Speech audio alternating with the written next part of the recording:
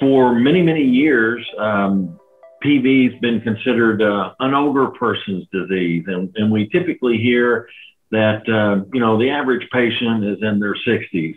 And um, from my observational analysis out there, I'm seeing a heck of a lot of patients that are being diagnosed in their 20s, 30s, 40s, and I've got to believe that in, that that's shifting the average age, perhaps in the 50s.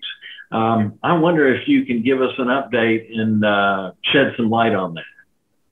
Uh, absolutely correct. Uh, the it is it has always been, or for the longest time, has been thought of as the disease of the older uh, patient, and the median age has been reported uh, in several studies in the literature, and even if you look at our national registry in the U.S. Um, in the early 60s, 60 to 65. Um, our uh, data suggests that the median age of diagnosis is around 54. so it's actually earlier.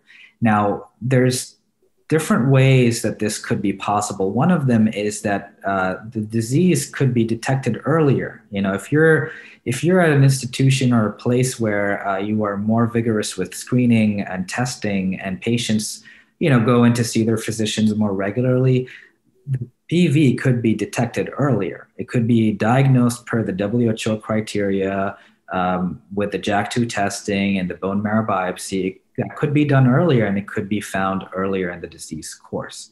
Um, so that is one explanation. The other explanation is it is possible that the dynamics of this disease, the epidemiology of it, are changing in, in this day and age, that younger patients are getting PV for one reason or another.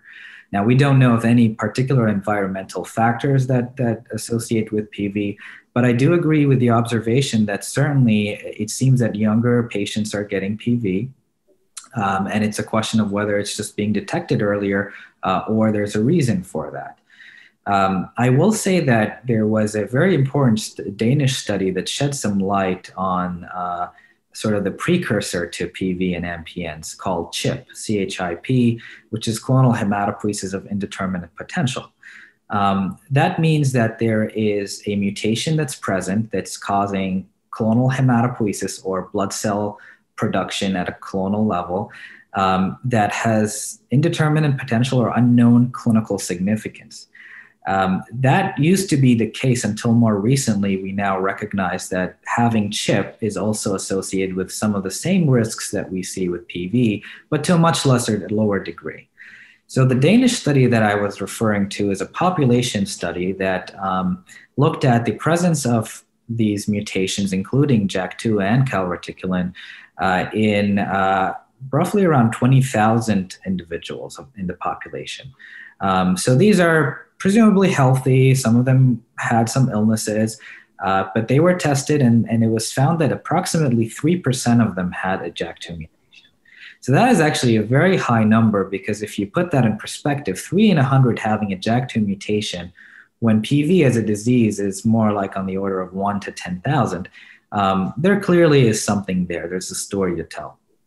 So the prevalence of these mutations now is more than we've anticipated, and part of it is owing to uh, the improvement in technology in detecting these mutations at very low level.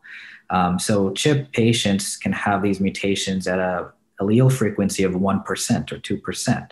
Um, so really only 1 or 2% of their uh, blood cells are JAK2 mutated but now we're detecting those patients.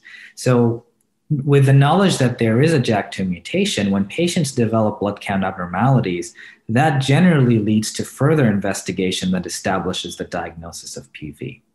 So, in, in this same study, the 3% of patients who had the JAK2 mutation, um, I think around 2 to 3% actually had an MPN. So, Putting it in the flip side, 97% of those with JAK2 mutations did not have an MPN or did not have a diagnosis of an MPN. So um, there is there is a spectrum. I think there's a spectrum, and uh, to show you how many patients there there could be, um, I, I truly think that the age gap or the change in the age of diagnosis is primarily related to the timing of testing uh, and um, you know when patients are coming to medical attention. And I think as, as time goes by, we're diagnosing it earlier and earlier because we are better at detecting these, diseases.